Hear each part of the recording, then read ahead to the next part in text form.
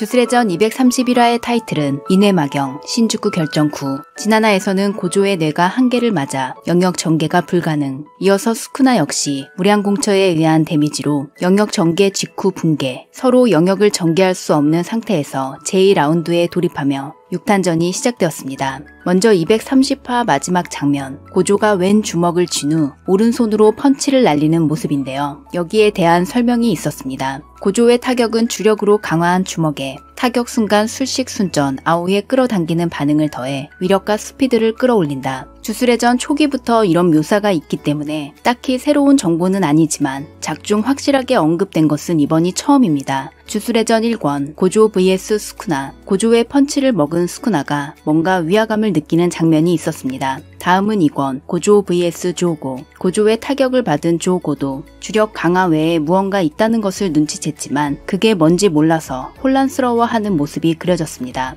222화 우라우메 우라우메가 받은 펀치도 단순 주력 강화에 의한 공격이 아니었습니다. 그 위화감의 정체가 바로 아오에 의한 타격 강화. 고전 학생들 중 이 타격을 받아본 것은 옥고츠와 하카리 둘 뿐인데 두 사람 다 너무 아파 토했다고 합니다. 그들은 고조가 자신의 버금가는 술사가 될 거라고 평가하고 있는 학생들로 기대치가 높은 만큼 훈련 중에 약간의 진심을 보여준 것으로 보이는데요. 현대 주력왕 옷코츠와 보너스 타임에 들어간 하카리는 주력량에 기인한 내구력을 자랑하는데 그럼에도 토할 정도의 충격이 있었다는 것은 고조의 레벨이 얼마나 다른지 알 수 있는 부분입니다. 그리고 아까부터 고조의 진심 공격을 받아내고 있는 스쿠나 역시 대단하다는 생각이 듭니다. 이어서 나나밍, surprise 등장. 이렇게라도 나나미를 볼 수 있는 것은 좋은데 그의 이름을 듣고 이노가 비니를 꾹 눌러 쓰는 모습은 참 마음이 아팠습니다.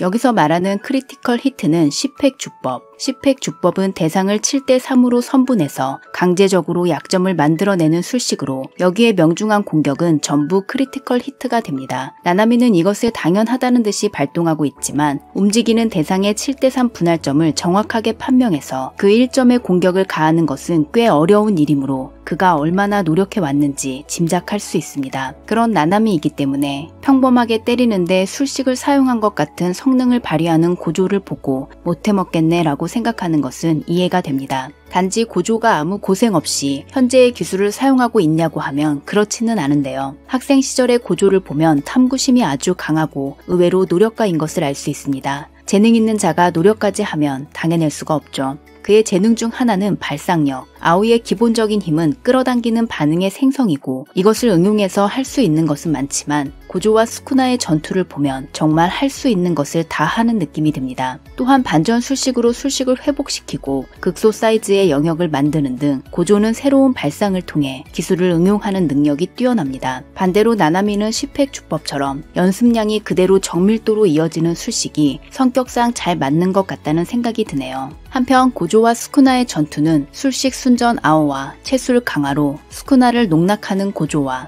영역 전연으로 고조에게 타격을 가하면서 틈을 봐서 마허라의 적응을 행하는 스쿠나의 두뇌전이 시작되었습니다. 스쿠나가 멱살 잡혀서 끌려다닌 경험은 아마 없을 것 같은데 고조의 전투는 참 시원시원해서 보는 맛이 있습니다. 하지만 스쿠나도 역시는 역시여서 주력 강화와 physical만으로 콘크리트를 뚫고 나오는 장면은 멋있었습니다. 그리고 여기서 등장한 헌터 헌터 오마주 장면, 키르아의 肢曲. 키르아의 광팬인 저는 이 장면을 보고 너무 기뻤는데요. 이것은 움직임의 완급을 주어 잔상을 남겨 분신한 것처럼 보이는 기술. 고조의 경우 아마도 고속 이동으로 잔상을 보여줬다고 생각하는데 고속 이동이 가능한 캐릭터에서 쉽게 볼 수 있는 기술이고 개인적으로는 원펀맨 사이타마의 진심 좌우 반복 뛰기를 좋아합니다. 또한 치아를 드러낸 미소. 이것은 슬램덩크 오마주, 사쿠라기와 미야기가 같은 표정과 효과음을 하고 있었습니다. 그러나 스쿠나에게 잔상 공격이라는 잔재주는 전혀 통하지 않아서 바로 본체를 간파해 날려버리고 이어서 스쿠나의 머리 위에 있는 마허라의 법진이 회전합니다. 지난화에서 스쿠나는 무량공처의 영향으로 영역 전개를 할 수 없는 상태가 되었는데요. 그럼에도 영역 전연을 사용할 수 있는 것은 영향을 받은 뇌가 결계술에 관련된 부위였기 때문에 전연은 주력 조작에 관련된 기술로 일단 결계술과도 연결되어 있지만 결계술을 사용할 수 없다고 해서 전연까지 사용 불가능이 되는 것은 아닙니다. 법진이 회전했는데 마허라를 꺼내지 않는 것에 고정 관전팀은 의문이 생기는데요. 마허라가 무량공처에 적응한 것은 5회의 학습 시간과 법진 2회전 후 무아한 주술에서 생겨나는 기술에는 여러 번 법진의 회전이 필요하며 그 필요 회전 수는 4회, 방금 한 번 회전했으므로 앞으로 3회전이 남았습니다. 이것은 고조가 옥문강에 봉인되었을 때 옥문강이 고조의 정보를 다 처리하지 못해 켄자그가 옥문강을 가지고 이동할 수 없었던 것과 비슷한 경우가 아닐까 싶습니다.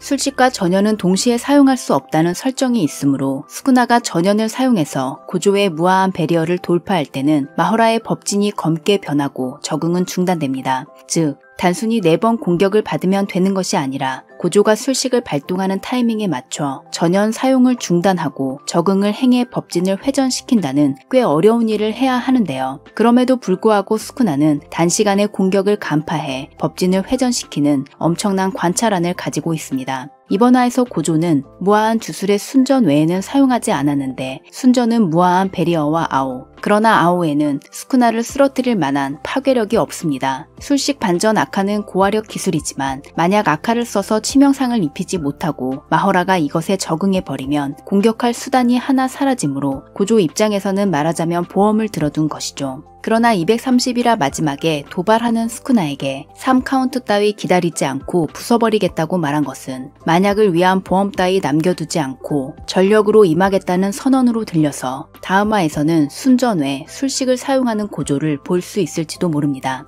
이것으로 두 사람의 목적은 명확해졌는데요. 고조는 적응시킬 틈을 보이지 않으면서 무하한의 기술을 스쿠나에게 critical hit시킨다. 스쿠나는 고조의 공격을 견디면서 빈틈을 노려 한 번이라도 많이 마허라에게 적응시킨다. 이번에 고조가 추측한 것은 두 가지. 마허라가 불가침에 적응하기까지 필요한 회전수는 토털 4회, 앞으로 3회 남았다. 마허라의 적응은 각 기술별로 적응시킬 필요가 있다. 단지 이것이 사실인지 아닌지는 아직 알 수 없는데요. 수구나는 수단을 가리지 않는 교활함까지 포함해서 최강이고 천년 전 술사인 레지도 그렇고 켄자크도 과거의 술사는 대체로 비슷한 사상을 가지고 있으므로 이것이 미스리드일 가능성도 있습니다.